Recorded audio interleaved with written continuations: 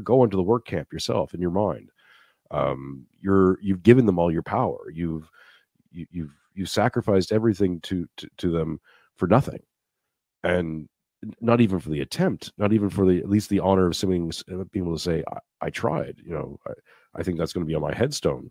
Basically, it's going to be like Ch- childish cowardice. Right. Exactly. You know, uh, it's and I think that that frustration and that resentment is a critical part of this inversion.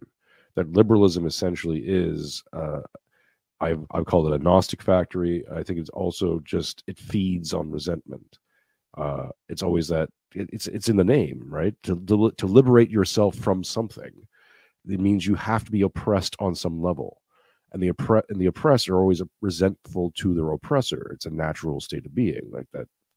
Can't almost fault someone for feeling that on some level, but you have to be able to re- redirect that and use it in, in a positive way. If you don't, then it just becomes infantile and and like I said, you know, as we were saying before about toddler toddler like be- behavior they just start to invert things. They just you know become become contrary for contrary's sake. You know, put on your shoes. No, why not? I don't want to put my shoes on. Like, well, just put your shoes on. Like you put your shoes on yesterday. You're gonna put your shoes on tomorrow. Why do you you know you don't you don't want to put your shoes on today? No, because you're being they're being told to put their shoes on, and they're and they're just saying no to see if they can get away with it. Um, it's not rational. It's not reasonable it's it's not it's neither good nor bad it's just it, it it's it's a state of being that we all go through but you you got to get that trained out of you or or realize that that that instinct to say no which is a good thing to have has to be done at the right times in the right places that the the no that that contrarian instinct with your shoes is is is incorrect but that contrarian uh, instinct might be vitally great or very important at some other point when they come to you and go, well, now you have to do this other thing. And you're like, no, I'm not doing that. No. No, no even I'm at sorry. the cost of my my my wealth and position or even my life. Yeah, there are certain places where and I don't welcome them, you know. um, yeah, God keep it far from me. But uh, yeah, there are uh, there are circumstances where you have to meaningfully say no, and there's the whole idea of obligation in general.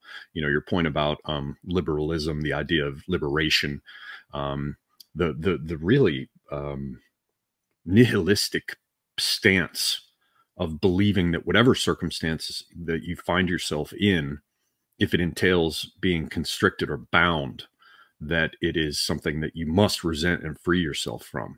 I mean, the, you know, I mentioned earlier the whole thing of guard, garden, warden, ward, uh, girdle, you know, um, gird, um, all of those things, you know, the protected enclosure, the space that is protected, and the idea of a king with a ritual of cincture.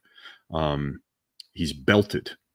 And it is that belt that holds the sword to which he has recourse at his waist, right? and that is the sword of uh, justice, right?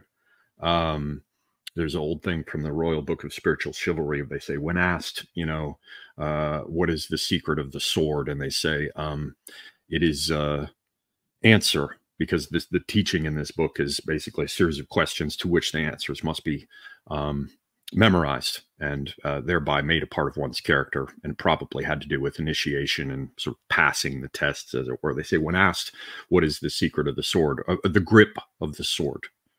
Um, and the, they say answer um, he who takes up the sword without uh, justice and righteousness in his heart deserves not to grasp the hilt but to be struck with it. You know the idea is that only from uh, a true um, obligation, which means being bound. The belt is nothing but a part of traction systems. It's to harness an animal to a thing that it must carry, which is its charge or cargo.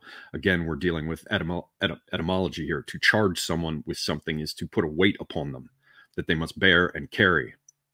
The cargo, the thing that goes in the carriage, all from those roots and the the the rings and belts of binding are what symbolize obligations. So when the Roman Empire was worth a fuck, the uh, the symbol of citizenship was an iron ring of obligation.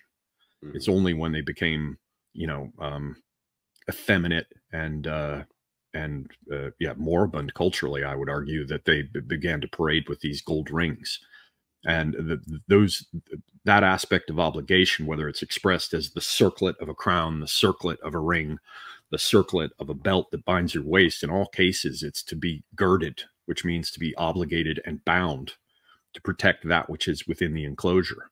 Um, and uh, yeah, uh, we don't seem to recognize that um, that is the basis of marriage, you know, and and that is the basis of forming a household, which is going to be something that you guard, you know, and it will be within the garth, which is what distinguishes the garden from everything that's outside of it, and uh, your family become your wards and um, you protect them. And the symbol of that obligation is the the ring that you bear.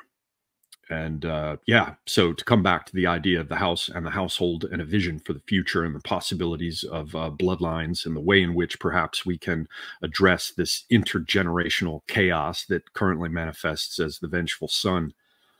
Yeah, my my best guess in agreement with you is um, uh, manly obligation and uh, and the recognition and undertaking of uh, one's charge, which is to uh, to um, make a home and make it fit for a woman and for children to uh, to to exist within, and to come up and provide us with the uh, the brighter future, the one we envision in the form of uh, our children, with you know we that we seek to um, assist and equip with everything that they're going to need to um, to survive this circus and um, and perhaps improve it.